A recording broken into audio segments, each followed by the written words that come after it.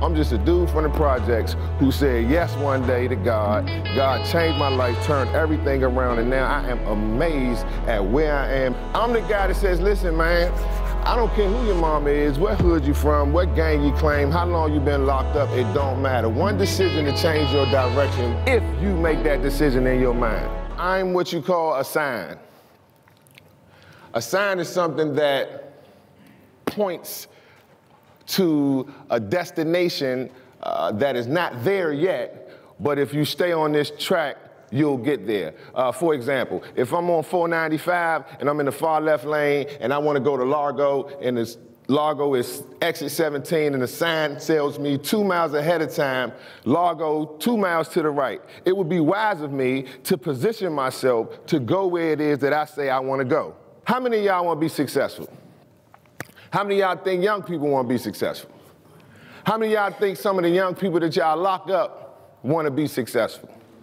Okay.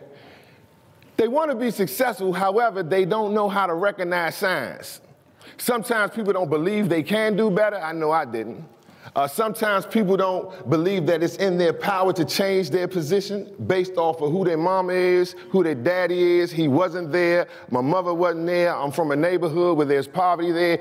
Sometimes people just make a bunch of excuses as to why they won't live at a position of excellence or a level of excellence that they should be living at. So I'm the guy that says, listen, man, I don't care who your mama is, what hood you from, what gang you claim, how long you been locked up, it don't matter. One decision to change your direction will change your direction if you make that decision in your mind.